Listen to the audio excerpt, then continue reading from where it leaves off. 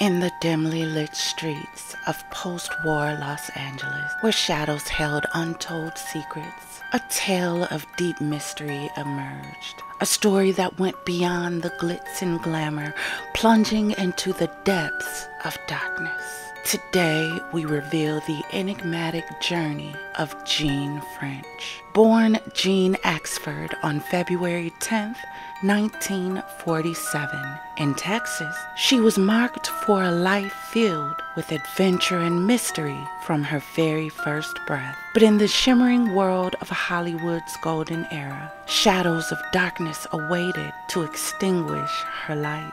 Jeanne French mesmerized those around her with her daring spirit and undeniable charm. An aviatrix, a nurse, a woman of many talents, she graced the world with a presence that defied the passage of time. Yet beneath the surface of her glamorous life lay a maze of secrets where fame and fortune intertwined with treachery and deceit. One fateful morning, H.C. Shelby, a bulldozer operator, made a discovery that would haunt Los Angeles for years.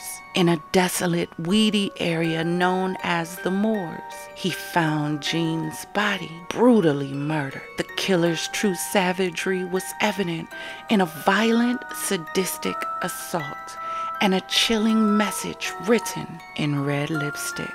Fuck you, PD. And the name Tex.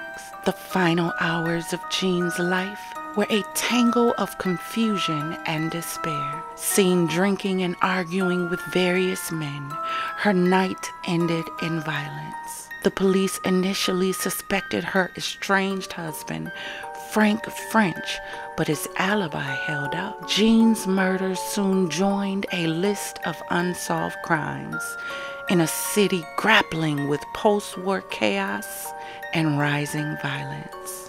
Amidst the opulence of Los Angeles, whispers of treachery echoed in the night. Passions flared and secrets simmered beneath the city's glamorous facade, leaving behind a trail of unanswered questions and shattered dreams. But the true Shadow Hunters remains elusive, a tantalizing enigma that begs to be unraveled. So grab your glass of champagne. Make sure your doors are secure and cozy up. Hit that like and subscribe button and the notification bell so you'll be notified when we jump into the Noir Syndicate to unravel this twisted tale that we call Jeanne French Murder in the Red. This is Inky Noir Champagne Mysteries. See you soon.